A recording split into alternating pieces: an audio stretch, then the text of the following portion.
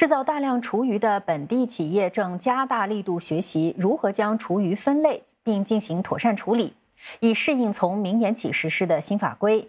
有食物废料再循环公司就发现，近期针对场外处理厨余的询问显著增加，相信与企业环保意识提高有关。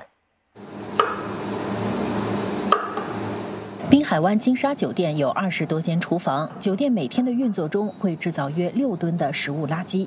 虽然这些垃圾看似无用，但业者却在其中发现了价值。We have five on-site food waste digesters on property. Um, they are aerobic digesters. We also use a fully circular uh, processing technology to process um, food waste into high calorific substrate that can be used for various purposes. 经过回收的厨余不仅可被加工成堆肥，也可取代动物饲料。为了让本地企业减少食物浪费，永续发展与环境部允许企业进行异地处理，将厨余送入食物回收厂。这家位于大市的工厂每天就要处理约一百吨的厨余。